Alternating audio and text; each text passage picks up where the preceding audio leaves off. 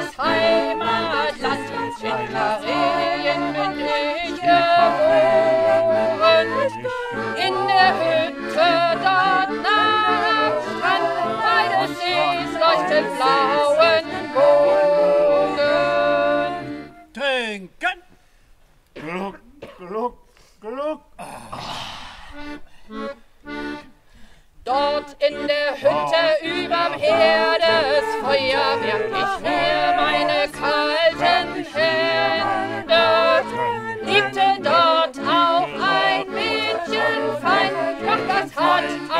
nun ein Ende. Trinken! Gluck, gluck, gluck. Finnland, das ist ein schönes Heimatland. In Karelien bin ich geboren. In der Hütte der Stadt, weil es stets leuchtet blaues Bogen. Trinken! Gluck, gluck, als in der Hütte über Herdesfeuer werf ich mir meine kalten Hände. Liebte dort auch ein Mädchen,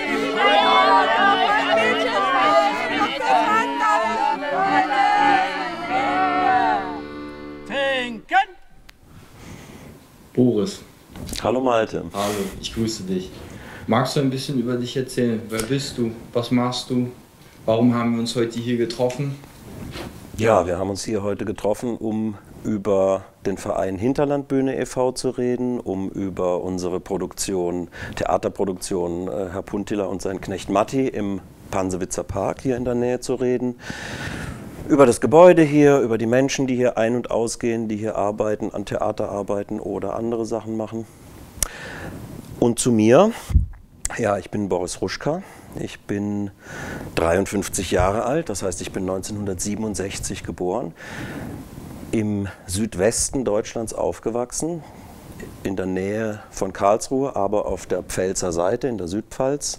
Sollte von meinen Eltern aus ursprünglich eher bildender Künstler werden. Also meine Eltern haben mich gefördert als äh, in Richtung Kunst äh, und ich habe dann das gemacht, äh, was sie am wenigsten von mir wollten, nämlich Theater und wovon sie am wenigsten verstanden haben. Und äh, ich habe da unten Abitur gemacht, habe aber nichts gelernt, also ich habe nichts studiert. Ich habe angefangen zu studieren und bin dann im Rahmen, nach, nach einem Semester, im Rahmen äh, eines Studentenjobs in Heidelberg an der, am Stadttheater gelandet als Bühnentechniker erstmal. Bühnentechnik, bisschen Beleuchtung, und äh, habe aber vorher Theater schon gemacht, also schon zu Schulzeiten, Theater und Kabarett, habe dann ein Jahr nach meinem Abitur in einer kleinen Schulproduktion den Mackie Messer in der Dreigroschenoper gespielt und gesungen. Und das hat dazu geführt, dass ich dann in Heidelberg am Theater, als da äh, der, die Dreigroschenoper gemacht wurde, ich auf der Seitenbühne stand und bei den Chören lauthals mitsang als Bühnentechniker, während da irgendwelche Vorhänge gezogen werden mussten, damals alles noch von Hand. Und äh, dann hat die Regieassistentin mich gefragt, sag mal, was ist, du, du singst da überall mit, hast du Lust vielleicht mal bei uns zu hospitieren, bei der nächsten Produktion? Und dann habe ich bei einer Kleist, einem Kleist der Familie Schroffenstein hospitiert bei dem Stück. Und das habe ich zwei Wochen gemacht. Dann wurde der Regieassistent krank. Nicht schwer, aber dauerhaft. Und dann bin ich als Assistent da eingestiegen und äh, habe dann gleich noch die nächste Produktion assistiert und bin dann mit einem, dann hat die Regisseurin mich beim, beim Intendanten damals, Peter Stolzenberg, als äh, Regieassistent durchgesetzt und da war ich dann vier Jahre und bin dann kurz bevor ich eigentlich eine eigene Regie hätte machen sollen, da weggegangen und nach Berlin gegangen, nach damals Ostberlin, also es war nach der Wende. 93 bin ich dann nach Berlin und habe da dachte zunächst, ich, ich werde da so eine Art, das als, als äh, naja, einen Bildungsaufenthalt nehmen und gehe da ins Theater und mache Kultur und gucke mir alles an und äh, dann werde ich ganz viel Theater machen und äh, das ist alles äh, anders gekommen. Ich habe dann Wohnungen renoviert in Berlin, ich habe angefangen zu schreiben, ich bin viel ausgegangen, ich habe äh, mich da mehr oder weniger auch ausgetobt, bis ich dann auch in so eine Berlin-Müdigkeit reinkam und keine Lust mehr hatte auf Stadt und auf Großstadt und ja, dann hat sich plötzlich das hier aufgetan, äh, nach Rügen gehen zu können über Freunde, die hier äh, Westrügen in Schweigwitz ein paar Jahre vorher ein Haus gekauft hatten. Und ich hatte das, ich kannte das schon, habe hier mal geholfen bei ihnen drüben zu renovieren, bin dann selbst hier gelandet, konnte das mit einem Freund 1999 kaufen, das Gebäude mit einem Freund zusammen. Wir hatten dann so einen Deal. Er verdient das Geld in Berlin und äh, ich baue unser gemeinsames Haus. Also unser, wir waren kein Paar, sondern waren zwei freie Menschen.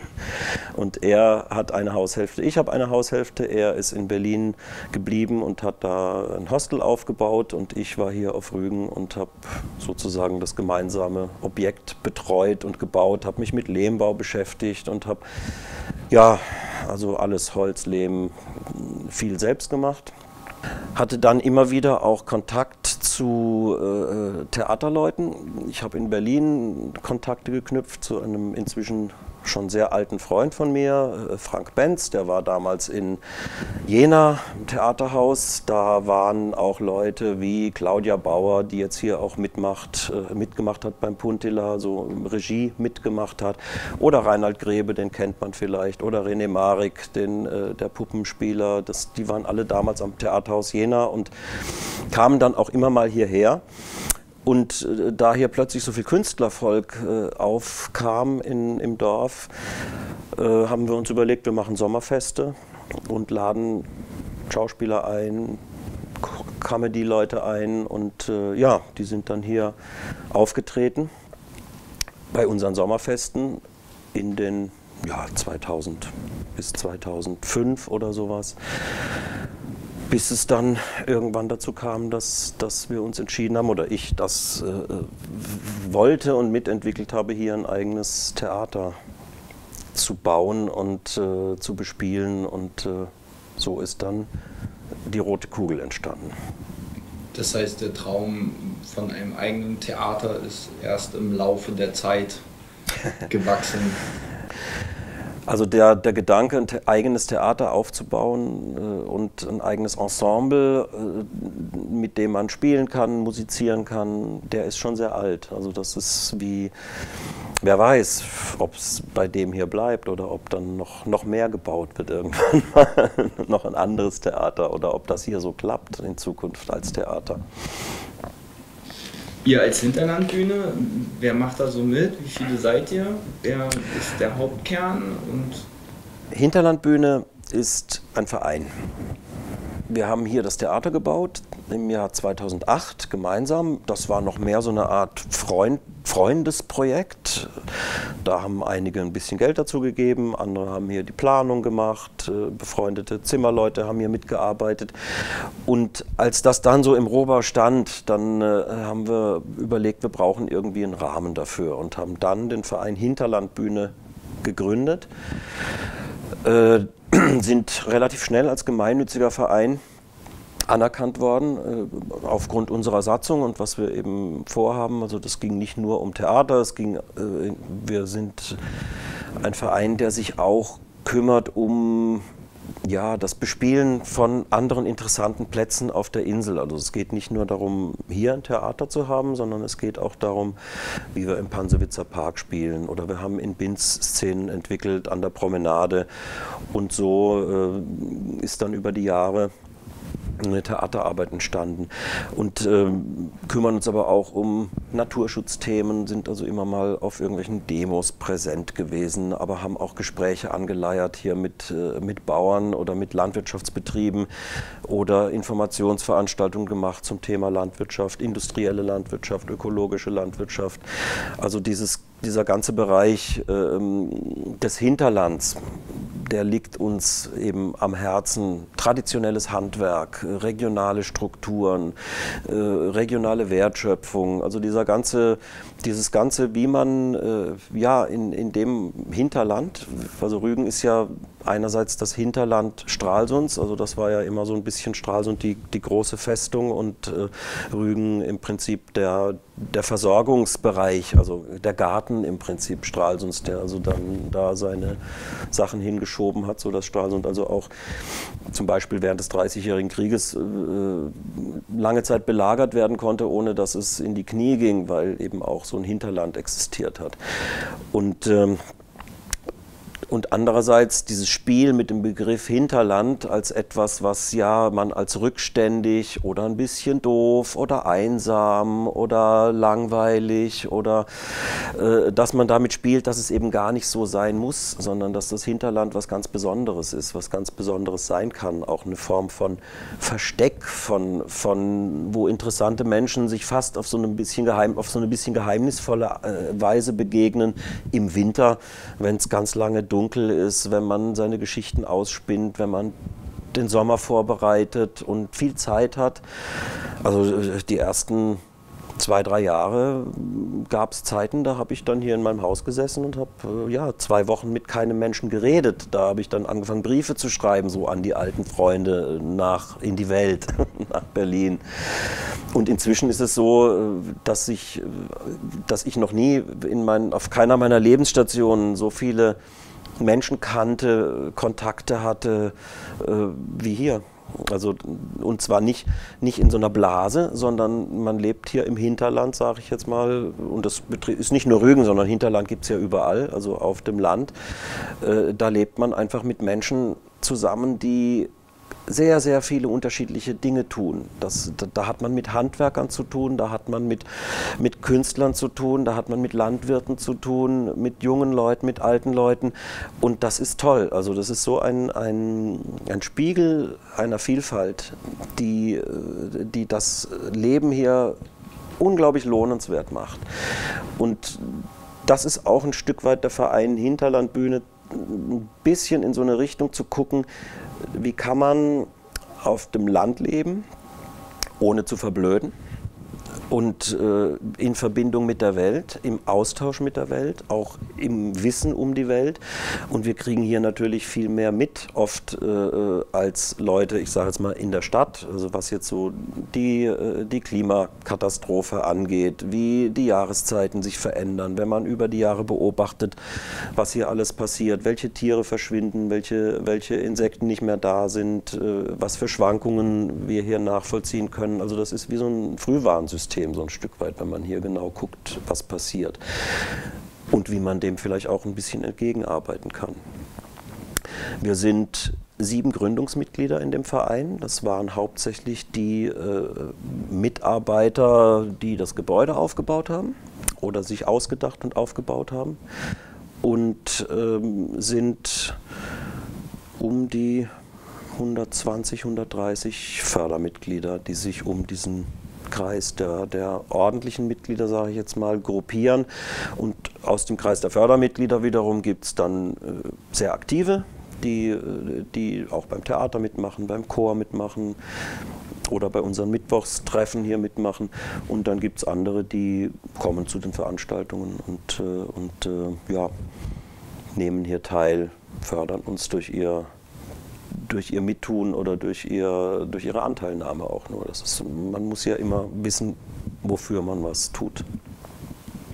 Mir hier als Lebender äh, ist die Hinterlandbühne als Verein gar nicht so ein großer Begriff. Ich habe das immer eher äh, aus meiner Jugendzeit mitgekriegt. Hey, Mittwochs, wie du das angesprochen mhm. hast, wollen wir nicht nach Schweigbitz fahren, äh, in die Rote Kugel. Mhm.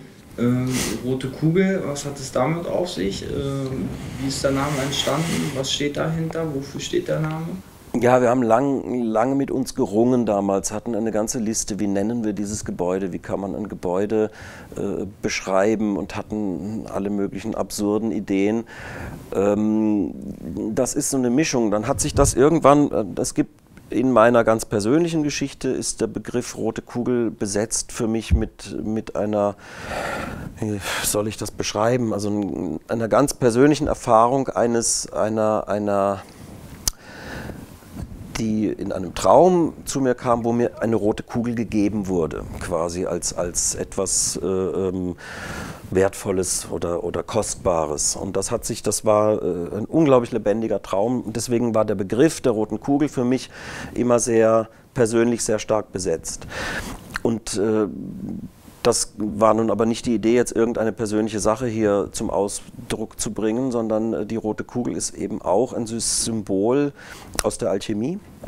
Das heißt eigentlich das, äh, das Gefäß, in dem die äh, Materia prima, also so die Urmaterie, die, äh, die meinetwegen Blei zu Gold verwandelt oder eben das Niedere zum Höheren, also das, das Unbewusste zum Bewussten. Also das ist ein, eine, eine Substanz, die eine Entwicklung in Gang setzt. Und äh, so wie die Farbe Rot ja auch äh, eine, eine vorwärtsdrängende Symbolik hat, also eine energievolle, vorwärtsdrängende Symbolik. Das war die eine Ebene. Und dann ist Kugel und Kogge es hat ja auch was Schiffsartiges hier, also Kogel, Kogge, das kommt aus dem dann äh, äh Shakespeare, das Globe, also das Shakespeare-Theater ist die Kugel, also von daher war das, äh, hat sich das aus, diesen, aus dieser Mischung, da sprachen dann plötzlich ganz viele, ganz viele äh, Faktoren dafür, wir nennen das rote Kugel das Gebäude und äh, das ist auch ein Bild. Eine rote Kugel ist ein Bild und es ist eingängig und man versteht es. Und Hinterlandbühne ist im Prinzip der Verein, der, der dahinter steht und sich um diese ganzen Sachen kümmert. Das klingt immer sehr viel, ich finde das ganz schön, muss ich ganz ehrlich sagen, weil ich kenne nicht so wahnsinnig viele Vereine, die funktionieren oder äh, eher Vereine, die, ich sag mal, immer so einen, so einen Leader haben, einer, der sich vorne hinstellt und sagt, äh, das machen wir jetzt. Das klingt immer mhm. mehr aus deinen Geschichten jetzt. Äh, es treffen sich Leute teilweise auch zufällig hier äh, wahrscheinlich bei einem Wein, klönen eine Runde rum und daraus entsteht eine Idee äh, oder ein genaueres Bild und das wird dann am nächsten Tag angepackt. Ist das dann bei äh, eurem Theaterstück Bertolt Brecht ähnlich gewesen, dass äh, ihr euch an einem Mittwoch äh, getroffen habt und überlegt habt, hey, wie gestalten wir die Saison, was machen wir? Warum Bertolt Brecht, warum mhm. der Puntilla? Wie seid ihr darauf gekommen? Also das eine ist ich bin, glaube ich, kein Leader in dem Sinn in so einem Verein, sondern ich höre gerne zu. Also ich, ich, wenn ich, wenn ich in eine, in, in eine Runde komme, dann setze ich mich normalerweise, außer ich habe gerade wirklich was auf dem Herzen, setze ich mich dazu und höre erstmal, was ist hier für eine Atmosphäre, was, äh, worüber reden die gerade, äh, ist es irgend, passiert da gerade irgendwas. Und das kann relativ lange dauern und entweder nehme ich dann an dem Gespräch teil oder bin wieder weg. Äh, und ähm, ich hoffe, dass ich nicht, äh, eben, dass ich kein Leader in dem Sinne bin, der, der so eine Art von Autorität ist. Äh, klar ist man das per se, wenn man alles Mögliche macht und sich kümmert. Und, und beim Theater ist es aber anders. Theater ist, sage ich mal, kein es ist jetzt erstmal eine Behauptung, die aber nicht nur von mir kommt, Theater ist kein demokratischer Prozess. Theater kann bis zu einem gewissen Grad ein demokratischer Prozess sein, aber man kann nicht jede Szene ausdiskutieren, man kann auch nicht ausdiskutieren, was machen wir denn für ein Stück. Man kann gemeinsam so ein Humus sein, aus dem sowas dann erwächst und im besten Fall funktioniert das auch. Äh, es hängt aber bei uns ganz stark damit zusammen, zum Beispiel, wer macht mit, was kann man besetzen. Also die Stücke funktionieren nicht wie an einem, ich sage jetzt mal, professionellen Theater, dass du Schauspieler hast, du hast ein komplettes Ensemble, du hast den jugendlichen Liebhaber, die junge Frau und was weiß ich, sondern du hast halt, was weiß ich, die zwei, drei, vier alten Knacker, die wir sind, dann ein, zwei Jüngere dabei, dann irgendwie äh, so, eine, so eine Mischung, wo man dann denkt, oh, man könnte auch mal wieder ein paar mehr Männer brauchen im Ensemble, dann muss man halt zaubern mit dem, was man hat, oder eben Stücke spielen, äh, die genau sich äh, in, in so einem Rollenquerschnitt dann bewegen. Und äh, der Brechner habe ich ja schon angedeutet mit der Drei-Groschen-Oper, also es gibt da so eine persönliche Erfahrung mit dem Brecht. Es gibt, ich habe früher viel viel Brecht auch gesungen. Ich habe mit Gisela May zwei Sommer Sommerakademien gemacht, äh, wo es um, um Liedgestaltung und Brecht-Eisler-Songs ging. Und deswegen liegt der mir sehr am Herzen. Und äh, das war nach der Wende ein bisschen so, naja, jetzt wird ja alles anders und gut und jetzt ist das ganze Osten und Westen und Rot und nicht und links und sonst was, alles löst sich in Wohlgefallen auf, alles wird toll, allen geht's besser, alle sind glücklich und feiern nur noch. Naja, inzwischen sehen wir ja, wie es aussieht in der Welt, also äh, zwischen Industrienationen und, und wirklich armen Ländern. Also die Kluft, die Kluft ist nach wie vor da, die Kluft ist innerhalb der Länder da, die Kluft ist innerhalb der Gesellschaft da, sie ist auf der Insel da, sie ist, also du hast überall dieses Ding von denen, die wenig haben und denen, die eben überhaupt nicht drüber nachdenken müssen, ob sie irgendwie, ob Geld eine Rolle spielt oder sowas. Und das, äh, und wir wissen inzwischen auch, dass die, die eben eben sehr viel haben, auch entsprechend stark zur Veränderung äh, des Weltklimas beitragen. Und äh, also Brecht ist insoweit so aktuell mit seinen Fragen, die er stellt. Äh, wo kommt das Elend her und was kann man tun und wie kann man äh, Ideen entwickeln, um dieses Elend das auf diesem Planeten herrscht, zu verändern, zum Guten zu verändern. Und wie kann man die Menschen ermächtigen, dass sie die Dinge in die Hand nehmen und, und äh, ja, frei werden. Frei werden von diesem Zwang, unter dem sie stehen, von dem Zwang, äh, sich, sich ernähren zu müssen, von dem Zwang, für andere arbeiten zu müssen. Also das, äh, diese ganzen Fragen, denen geht er in seinen Stücken auf verschiedenste Weise nach. Und äh, das ist nicht ich dachte da eine Zeit lang auch, ja, das ist immer so ein bisschen was Belehrendes bei Brecht, aber es, das stimmt nicht unbedingt. Es sind eher Versuchsanordnungen, die er einem vorführt. Und äh, zum Beispiel, wir haben mit dem Gedanken gespielt, die heilige Johanna der Schlachthöfe zu machen. Unabhängig von den Schlachthöfen, das ist ja auch sehr gerade sehr aktuell, ähm, geht es eigentlich darin um die Frage, ob man das Elend und die Armut lindern soll wo man sie trifft, oder ob man sie verschärfen soll, damit es zum Aufstand kommt. Also ist die, die Frage, rettet man den Flüchtling aus dem Mittelmeer oder filmt man ihn beim Ertrinken? Womit erzielt man die größere Wirkung? Das ist nicht als Idee, so oder so geht's, sondern das ist als, als Versuchsanordnung. Guckt es euch an und fragt euch selbst, was macht Sinn? Wie geht, man, wie geht man mit solchen Themen um? Und das ist da eine zentrale Frage. Beim Puntila ist es die zentrale Frage, naja, die Reichen, die sich gemein machen, wenn sie besoffen sind, dann oder wie auch immer, dann, dann kommen sie gern mal und sind großzügig und was auch immer. Aber wenn sie auf Privilegien verzichten sollen, was weiß ich, ein anderes Steuersystem oder irgendwie, dann sind sie knallhart. Und dann können sie noch so nett sein im privaten Umgang. Äh, ihre Rechte und ihre Vorteile geben sie nicht so leicht auf. Die muss man sich erobern.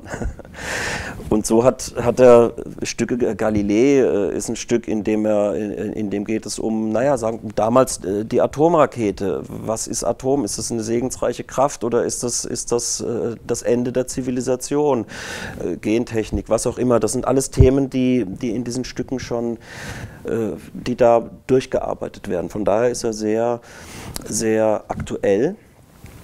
Aber nicht nur das, er ist ja nach Shakespeare, soweit ich weiß, der meistgespielte Autor weltweit.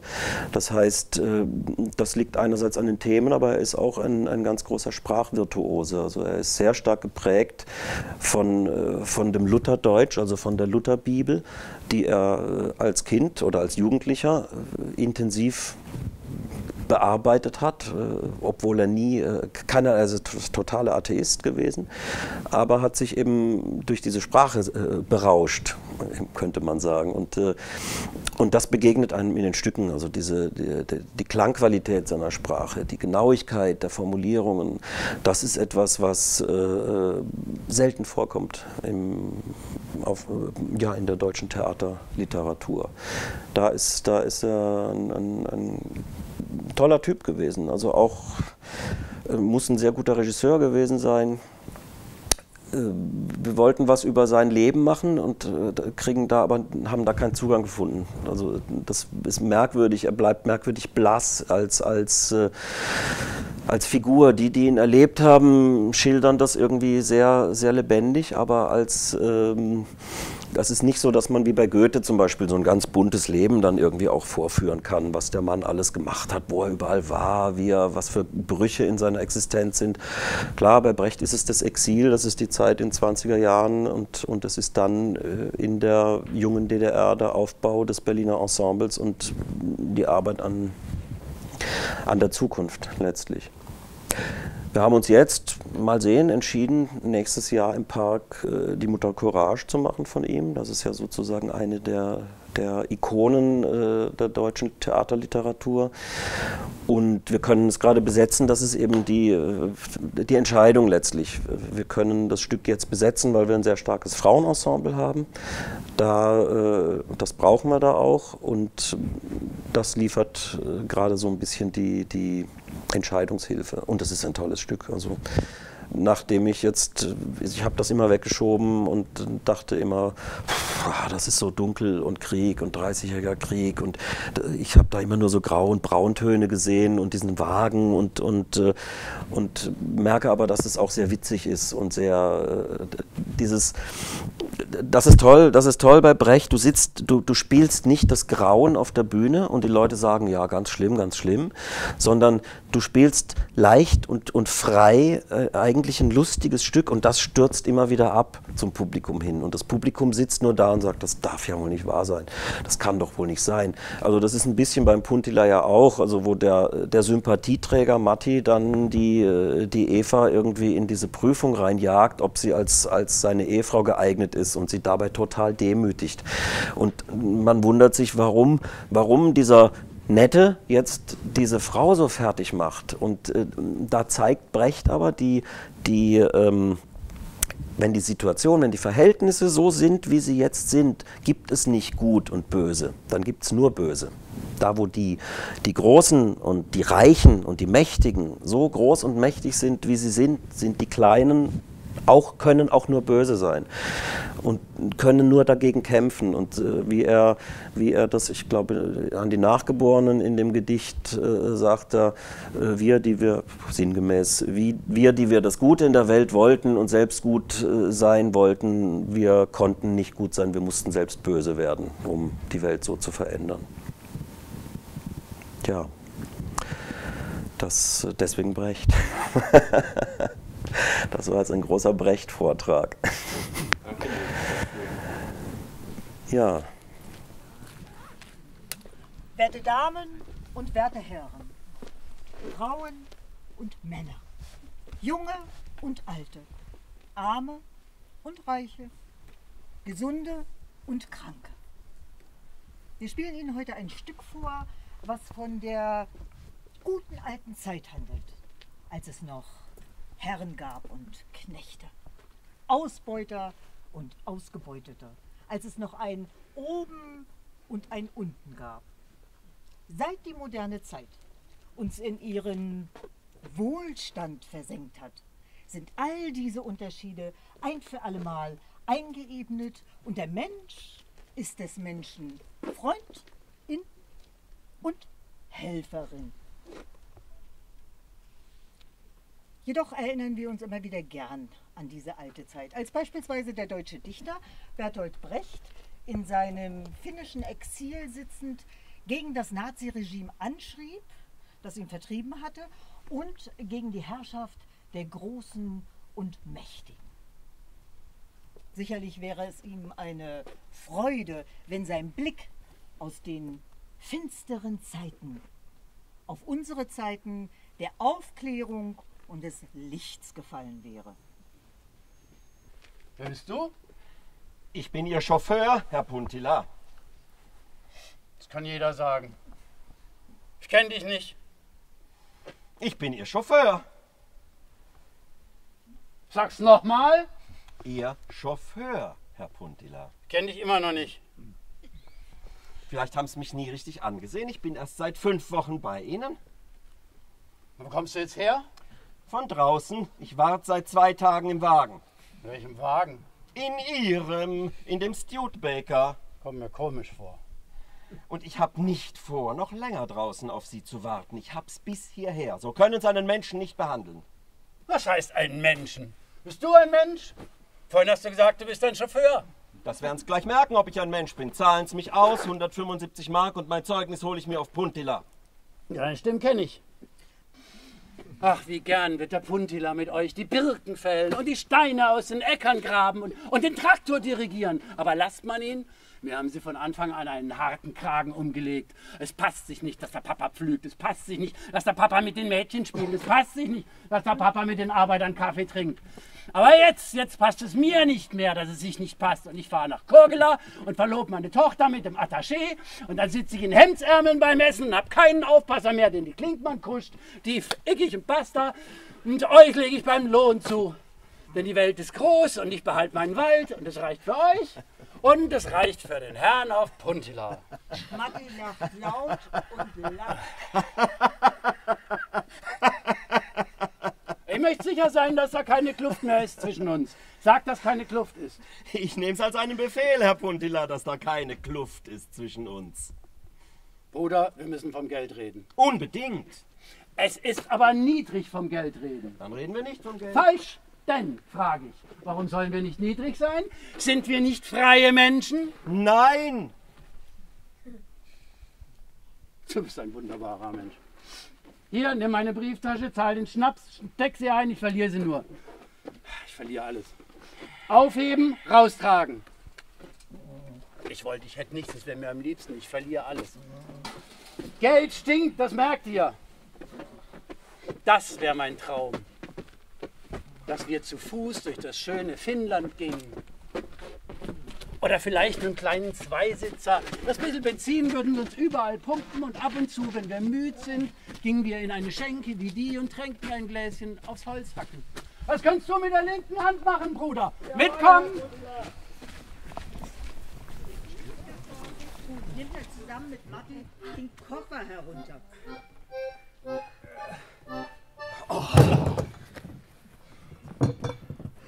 Was ist nochmal glücklich gegangen? Was der Puntila anpackt, das glückt. Wenn du mich fragst, ich rate dir ab von dem Attaché, das ist kein Mann. Nimm den Matti, mit dem unterhält sich jede. Du bist unmöglich, Papa. Nehmen Sie den Koffer mit nach oben. Aber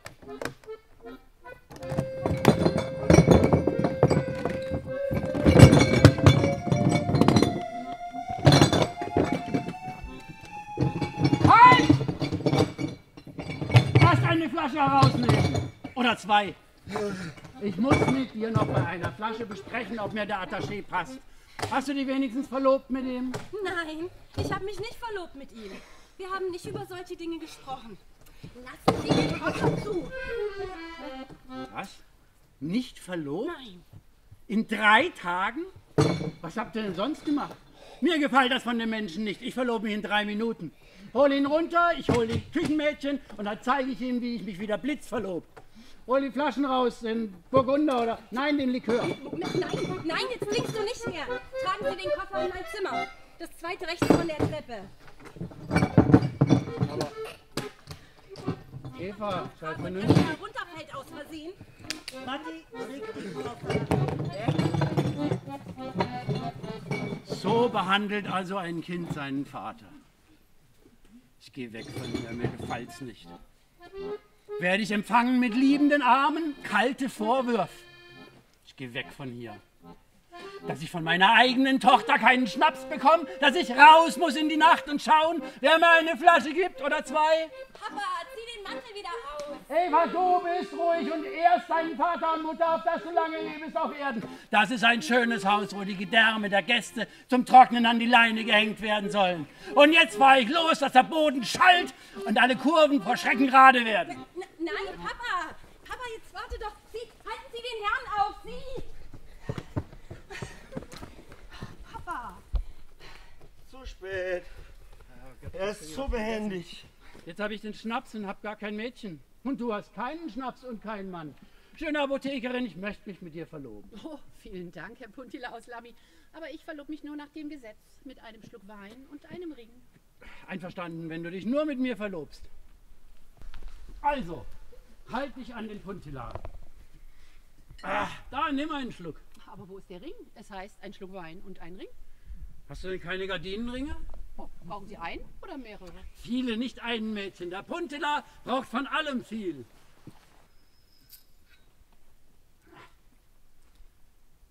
Ring! Einen Schluck aus der Flasche. Und am Sonntag über acht Tage kommst du nach Puntilla. Da ist große Verlobung. Wie ist es mit dir?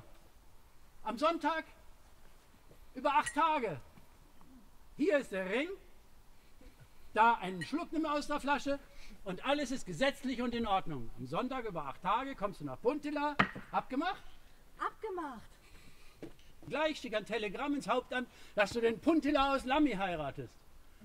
Da nimm den Ring und einen Schluck, nimm aus der Flasche und alles ist in Ordnung. Nach dem Gesetz. Und am Sonntag über acht Tage kommst du nach Puntila. Ich werde da sein. Schmuggler Emma. Äh, gnädige Frau, Sie haben wohl gehört, dass ich mich allgemein verlob hier und hoffe, Sie werden nicht fehlen. Ein Ring und einen Schluck aus der Flasche.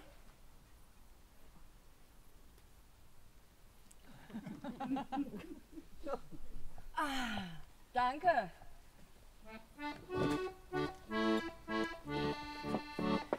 Das Pflaumenmus wir aßen, war er lang auf und davon.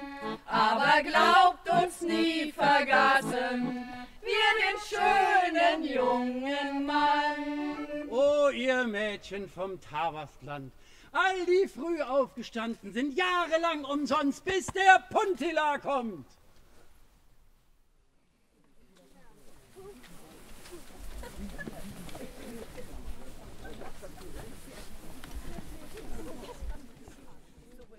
So ausdrücken. Ich weiß überhaupt nicht, warum ich mit Ihnen so diskrete Sachen bespreche. Das ist eine ganz menschliche Angewohnheit, dass man was miteinander bespricht. Das ist ein großer Vorsprung, den wir vor den Tieren haben. Wenn zum Beispiel die Kühe sich miteinander besprechen könnten, gäbe es den Schlachthof nicht mehr lang. Was hat das damit zu tun, dass ich sage, dass ich mit dem Attaché wahrscheinlich nicht glücklich werde und dass er zurücktreten müsste? Nur, wie könnte man ihm das andeuten? Ja, mit dem Zaunpfahl wird es nicht genügen. Es müsste schon ein ganzer Mast sein. Und wie wollen Sie das andeuten? Na, ich meine, das müsste ich machen. Ich bin roh. Und wie stellen Sie sich das vor? Nehmen wir an, ich hätte mich ermuntert gefühlt durch die freundlichen Worte vom Herrn Puntila, dass Sie mich nehmen sollen, die er in der Besoffenheit hat fallen lassen. Und Sie fühlen sich angezogen durch meine rohe Kraft. Denken Sie an Tarzan. Und der Attaché überrascht uns und stellt fest, sie ist meiner nicht wert, sie treibt sich mit einem Chauffeur herum. Das kann ich nicht von Ihnen verlangen. Ach, das wäre ein ganz normaler Dienst wie Wagenputzen. Es bräuchte eine Viertelstunde und wir brauchen ihm nur zu zeigen, dass wir intim sind. Und wie wollen Sie das zeigen? Hm, ich könnte sie zum Beispiel mit dem Vornamen anreden, wenn er dabei steht. Wie zum Beispiel? Bluse ist im Genick nicht zu, Eva. Aber, aber sie ist doch zu. Ach so, jetzt haben Sie schon gespielt. Aber das ist ihm gleich. So penibel ist er nicht, dafür hat er zu viele Schulden. Na, dann könnte ich ja mit dem Sacktüchel wie aus Versehen ihren Strumpf rausziehen, dass er sieht. Hm, das ist schon besser. Aber da wird er sagen, Sie haben ihn sich nur gegrapscht, wie ich nicht dabei war, weil Sie mich heimlich verehren. Sie haben keine schlechte Fantasie in solchen Dingen, wie mir scheint. Ja, ich tue mein Bestes. Ich stelle mir alle möglichen Situationen und verfänglichen Gelegenheiten zwischen uns zwei vor, dass mir was Passendes einfällt. Also, also das lassen Sie bleiben. Schön, ich lasse es bleiben. Was denn zum Beispiel? Wenn er so große Schulden hat, müssen wir schon direkt zusammen aus der Badehütte herauskommen. Unter dem geht's nicht. Das darfst du nicht! Eva! Weiter, weiter in blinder Leidenschaft. Wenn Sie hereinkommen, müssen wir ran. Da hilft nichts. Das geht nicht. Oh, dann gehen Sie hinaus, aber wie ein begossener Pudel. Eva! Du hast gerufen, Papa. Ich wollte mich nur umziehen und etwas schwimmen gehen. Was denkst du dir dabei, dich in der Badehütte herumzutreiben? Meinst du, wir haben keine Ohren? Sei doch nicht so jähzornig, Puntila. Warum sollte Eva nicht in die Badestube? Was sollst du denn gehört haben? Es war doch nichts. Es war nichts, das ist bei dir, es war nichts. Vielleicht schaust du dich um. Äh, ich habe mit dem gnädigen Fräulein nur 66 gespielt. Da sind die Karten. Das ist ein Missverständnis von Ihrer Seite. Du hältst das Maul, du bist gekündigt. Was soll der Eino von dir denken? Weißt du, Puntila, wenn sie nur 66 gespielt haben, ist ein Missverständnis. Komm, Puntila, wir gehen ein Billard spielen. Eva will abgehen, wobei sie den Gang wieder vorführt, den sie im Kino gesehen hat. Ich ja, hab's mir überlegt, ich werde doch mitkommen. Ich werde sie rudern. Sind Sie nicht zu müde? Ich bin aufgewacht und fühle mich ganz frisch. Sie müssen aber noch sich umziehen, dass Sie besser warten können. Die Geräte sind in der Geschirrkammer. Herein, der Richter. Oh, die finnische Sommernacht. Oh, die finnische Sommernacht. Oh, die finnische Sommernacht. Um jedes Gebüsch an der Straße muss ein Stacheldrahtzaun gezogen werden. Ins Dampfbad gehen die Geschlechter einzeln, weil sonst die Versuchung zu groß wird. Und danach geht zusammen über die Wiesen. Sie sind überhaupt nicht zu halten im Sommer. Von den Fahrrädern steigen es ab, auf die Heuböden kriechen es hinauf. In der Küche passiert's, weil es zu heiß ist und im Freien, weil so ein frischer Luftzug geht. Zum Teil machen es die Kinder, weil der Sommer so kurz und zum Teil, weil der Winter so lang ist. Oh, die finnische Sommernacht. Oh, die finnische Sommernacht.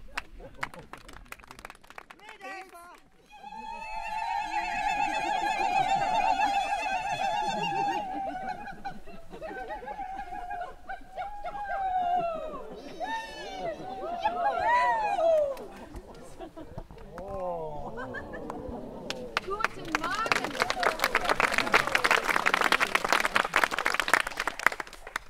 Guten Morgen.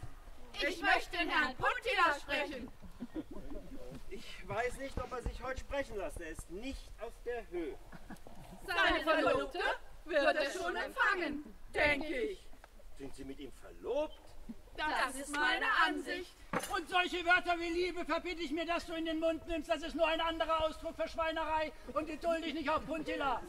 Die Verlobung ist angesetzt. Ich habe ein Schwein schlachten lassen. Das kann ich nicht mehr rückgängig machen. Und überhaupt habe ich schon mein Zimmer wird zugesperrt, richtig danach. Hoffentlich mal Max knusprig. Zwei Arbeiter rollen zwei Fässer Bier ins Haus. Da geht Bier hinein. Puttila hat finster zugehört. Und der See und der Berg und die Wolken überm Berg, teuer ist dem tagesländischen Volk. Und der See und der Berg und die Wolken überm Berg, teuer ist dem tagesländischen Volk. Teuer ist dem tagesländischen Volk. Teuer ist dem tagesländischen Volk. Ihr geht vom Gut. Die vier Frauen werfen ihre Strohkränze auf die Erde und gehen vom Hof.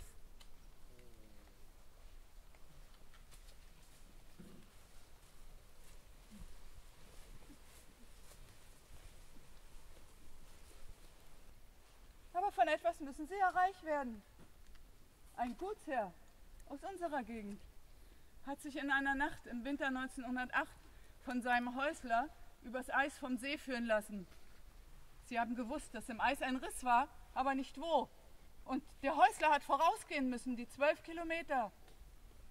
Dem Herrn ist Angst geworden und er hat ihm ein Gaul versprochen, wenn sie hinüberkommen.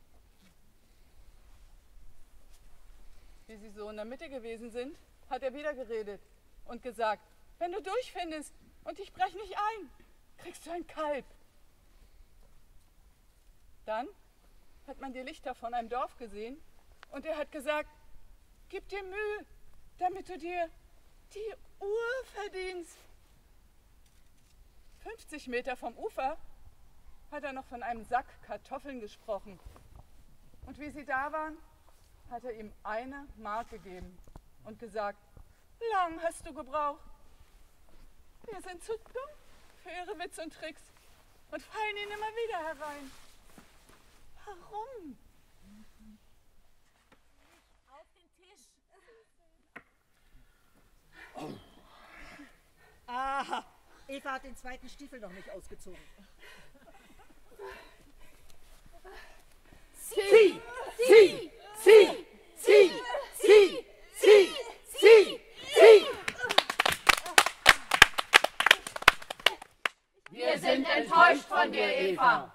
Und wenn ich abends müd heimkomme, fehlt die Feinfühligkeit. Zum Beispiel das Maul halten. Wir sind enttäuscht von dir, Eva. Und dann werde ich mitten in der Nacht gerufen, um den besoffenen Alten von der Station abzuholen. Und was ist dann?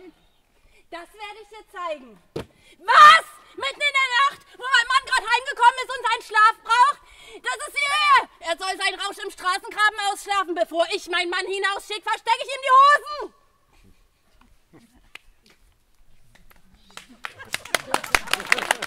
Die Leute so nachts schlafender Zeit heraustrommeln, als ob es nicht tagsüber schon genug Schinderei wäre. Mein Mann kommt heim und fällt mir ins Bett wie ein Toter. Ich kündige! War das besser? Das ist eine schöne Leistung. Ich werde zwar gekündigt, aber wenn du das meiner Mutter vormachst, ist sie gewonnen. Matti hat Eva mit der Hand auf den Hintern geschlagen. Hm, Lassen Sie das! Was Wie können Sie sich unterstehen und hinzuhauen? Was ist denn? Ich fürchte, du bist zu guter Letzt doch noch durchs Examen gefallen. Du kannst deine Verlobung leider nicht haben. Gute Nacht! Eva! Eva! Matti, ich bin fertig mit ihr. Ich verschaffe ihr einen Mann, einen prachtvollen Menschen und mache sie glücklich, dass sie jeden Morgen aufsteht und singt wie eine Lerche. Und sie, sie ist sich zu fein dazu und zweifelt.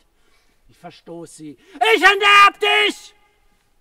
Verpack deine Fetzen und verschwinde aus meinem Haus! Du bist meine Tochter nicht mehr! Meinst du, ich hab nicht gemerkt, wie du fast den Attaché genommen hättest? Nur weil ich dir befohlen hab, du Wisch! Weil du keinen Charakter hast! Huntila, ich empfehle mich. Ja, geh nur und lass einen gramgebeugten Vater zurück. Verstehe nicht, wie zu einer solchen Tochter kommt, die ich bei der Sodomiterei erwischt mit einer diplomatischen Heuschreck. Jede Kuh mag, könnt ihr sagen, wozu der Herrgott ihr einen Hintern geschaffen hat, im Schweiße seines Angesichts, damit sie bei einem Mann liegt und sich die Finger ableckt nach ihm, wenn sie einen Mann zu Gesicht bekommt. Matti, das hat mir sehr gefallen, wie du sie geprüft hast. Trink noch ein halbes Glas. Entschuldigen Sie, dass ich Ihrer Tochter den Hintern getätschelt habe. Das hat nicht zur Prüfung gehört, sondern war als Aufmunterung gedacht. Hat aber die Kluft aufscheinen lassen zwischen uns. Sie werden es gemerkt haben. Matti, ich habe nichts zu entschuldigen. Ich habe keine Tochter mehr. Seien Sie nicht unversöhnlich.